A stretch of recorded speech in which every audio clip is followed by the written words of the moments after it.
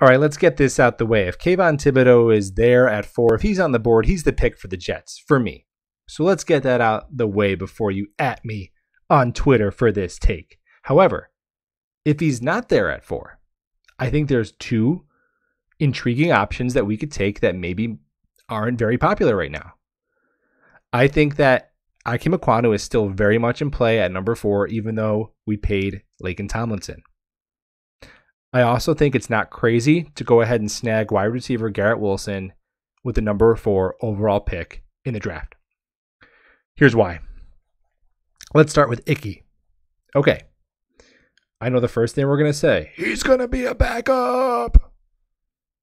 Well, let's open our minds and actually conceptualize what Icky's role would be for the Jets next year if they take him at four.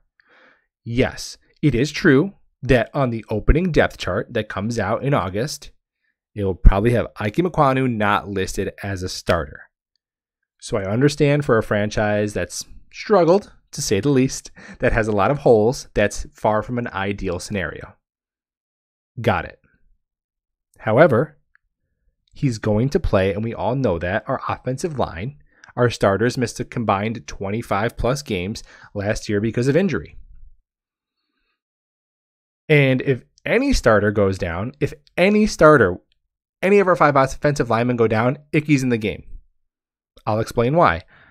He can play both guard spots. He can play both left tackle and right tackle. So if either tackle goes down or either guard goes down, which is more of a when than an if, Icky is in the game. And you say, what about center? Icky doesn't play center. Well, let me ask you this.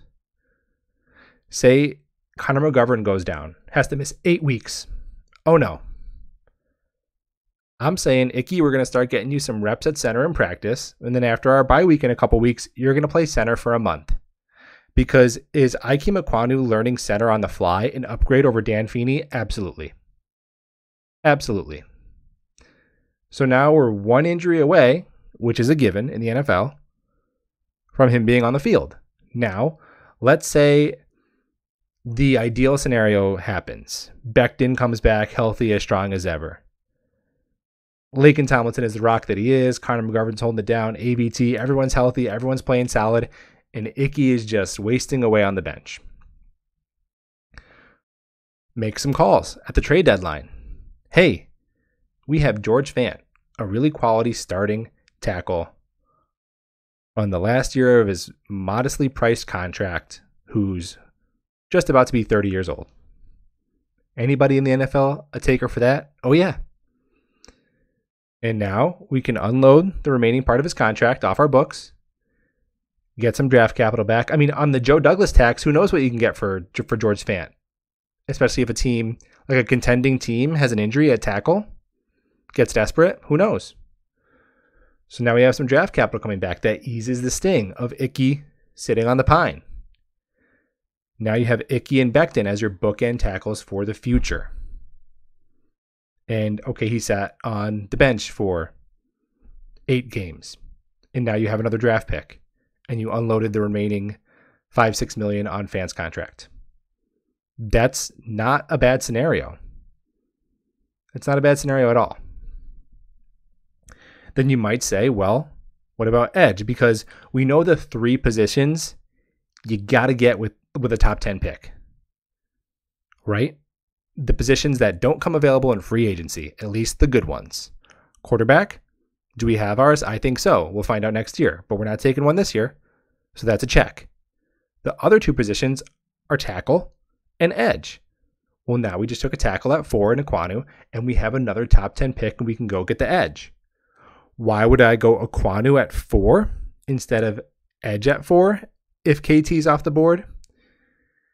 Because the drop off at tackle, there's no other tackle to me that would be worth a top 10 pick besides Neal and Ekwonu who aren't going to be on the board. Maybe Charles Cross, but I don't think he's going to be there at 10 either. However, I think there is a second tier of edge rushers, right? Hutchinson and, and KT are tier one, but there's a second tier of three really good players, all of which I think are worthy of the 10th overall pick in the draft. That's George Karlaftis, good player, basically a Walmart version of Aidan Hutchinson. No shade. Good player. Good motor, good athlete. Was bummed he didn't go to the combine. Speaking of combine, Travon Walker. Woo! I mean, not a lot of production in college, but 6'5, 270, and a 4'5 and change 40 yard dash. Those are some Myles Garrett, Jadeveon Clowney, Julius Peppers freak show numbers at defensive end. And a big dude, a strong dude. Speaking of production, Jermaine Johnson, 11 and a half sacks in 12 games. So all those three guys could be in play at 10 if you go Icky at 4. Right? We we can't get in this stuck mindset of like this is what has to happen at 4. This is the type of player that you can only take at 4. Like we have two top 10 picks with the way the board falls with the level of top tier talent and depth in this year's particular draft class. Like what can we do with these two picks to feel like we came away with the best value at positions that are premier positions? We have to be more open minded about it. Same thing with my next proposition at four wide receiver Garrett Wilson. Can't take a wide receiver at four. There's a million good wide receivers in the second round. Yeah, like Stephen Hill and Devin Smith and Denzel Mims. Uh, I mean, I know we hit on Elijah Moore, and I'm I shouldn't hold those other picks against Joe Douglas because obviously he's a better GM, you know, than the guys that picked Stephen, uh, Stephen Hill and Devin Smith. But if you have the bona fide stud and you think, if the Jets think like I think that Garrett Wilson is a life changing offensive weapon immediately, like Odell Beckham was with the Giants, like Justin Jefferson was with the Vikings, like Ja'Marr Chase was with the Bengals last year, I think he's that dude. And if the Jets think he's that dude, let's not get cute and hope he falls till 10. Take him at 4. And then same thing, same plan as if you take Ekwonu. You get the edge at 10. So it's me, you're getting the edge. You got to get the edge either way at 10. But now, Ekwonu and Wilson are in play for me at 4. It's not a crazy idea. I mean, you get Garrett Wilson, how exciting would that be? I mean, Garrett Wilson, Corey Davis, Elijah Moore, Braxton Berrios, Denzel Mims. Can you name a better Jets wide receiver corps? I mean, I know we had a really good duo with Marshall and, and Decker, but it wasn't that deep. And it was only for a couple years. So I'm here for that. And again, it would prioritize either Ekwonu or Garrett Wilson would both be prioritizing the development and our ability to adequately assess quarterback Zach Wilson, and you still come away with your edge in the top 10. And yeah, one of those edge rushers, none of them in that in that tier are going to be 15 sack a year guys. Not every top 10 pick is a Bosa brother. And if they are, they go one, two, or three anyway. So I think a guy who can come in and get you eight to 10 sacks be good against the run, get some pressures, bat down some balls, that's fine. We've only had three edge defenders of the quality that I just mentioned in the last 20 years. That's John Abraham, Shaun Ellis, and an older Calvin Pace for a little bit.